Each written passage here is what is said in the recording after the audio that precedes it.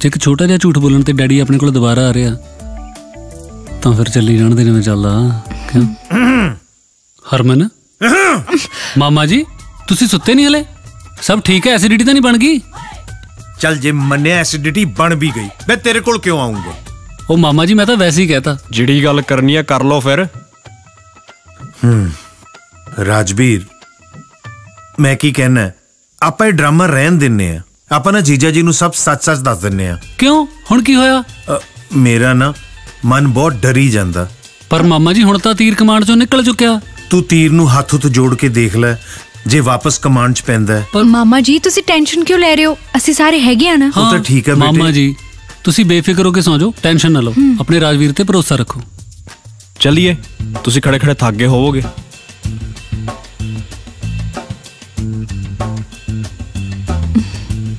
ਆਪਾਂ ਕਿੱਥੇ ਸੀ?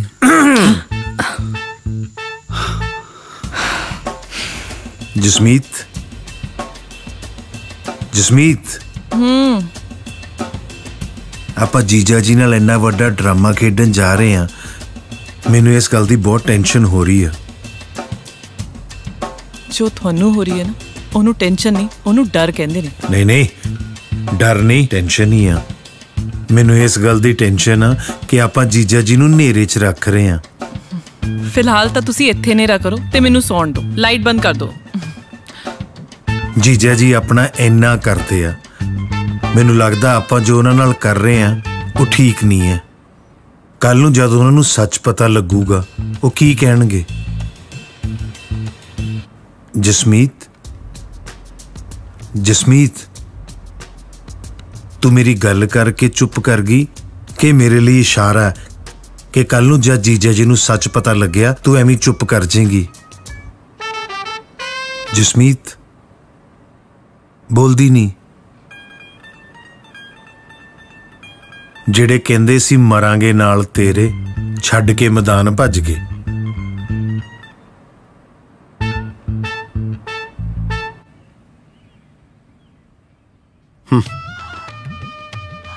ਬਣਤਾ ਮੈਂ ਇੱਕ ਫੈਸਲਾ ਲਿਆ। ਕਿਹੜਾ ਫੈਸਲਾ ਜੀ? ਕਿ ਤੈਨੂੰ ਪੁੱਛੇ ਬਗੈਰ ਅੱਜ ਤੋਂ ਬਾਅਦ ਕੋਈ ਕੰਮ ਨਹੀਂ ਕਰਨਾ। ਬਸ ਜੀ ਸ਼ਾਸਤਰਾਂ ਦੀ ਵਿਦਿਆ ਨੇ ਦਾਸ ਨੂੰ ਇਸ ਲਾਇਕ ਬਣਾਇਆ। ਨਲਾਇਕੀ ਦਾ ਐਸੇ ਤਾਂ ਤੇਰੇ ਮੱਥੇ ਤੇ ਲਿਖਿਆ ਹੋਇਆ ਹੈ। ਓਏ ਸਿਰੇ ਦਾ ਨਲਾਇਕ ਪੰਡਤ ਨਿਕਲਿਆ ਤੂੰ? ਨਾ ਤੂੰ ਤਾਂ ਕਹਿੰਦਾ ਸੀ ਅਗਲਾਂ ਦੇ ਜਵਾਕ ਨਹੀਂ ਹੁੰਦਾ। ਨਾ ਹੋ ਗਿਆ ਨਾ?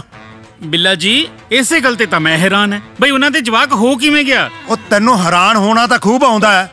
ਪਰ ਆਪਣਾ ਕੰਮ ਨਹੀਂ ਕਰਨਾ ਆਉਂਦਾ। ਮੈਂ ਕੋਈ ਚਵਲ ਨਹੀਂ ਸੀ ਮਾਰੀ। ਜੋ ਮੈਨੂੰ ਕੁੰਡਲੀਆਂ 'ਚ ਦਿਸਿਆ ਉਹ ਮੈਂ ਦੱਸਤਾ।